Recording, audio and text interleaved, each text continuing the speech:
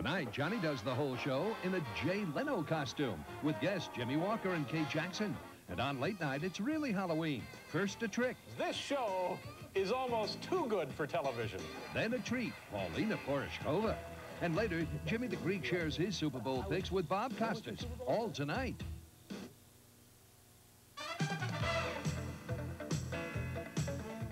Here's what's coming up in sports on the nightcast at 11. The Chicago Bears claim foul.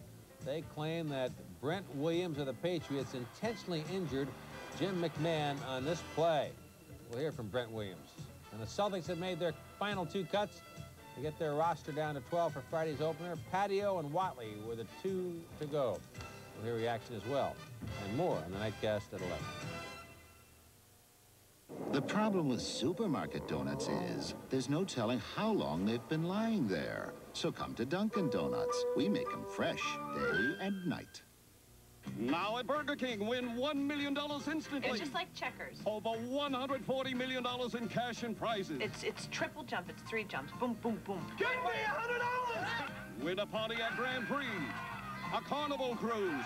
Every card can win. I'm going for the big one. And there are still a lot of prizes, but you have to play to win. So what are you waiting for? Play triple jump checkers at Burger King now. I don't believe it. Yes! Triple jump checkers.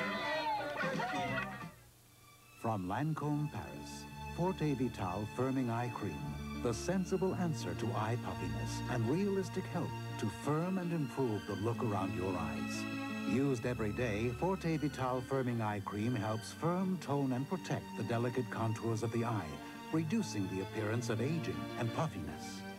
Forte Vital Firming Eye Cream, a beautiful eye opener. Lancome, Paris. You'll find it at Jordan Marsh. I-Team investigates the tenant trap Thursday at 6 on TV4.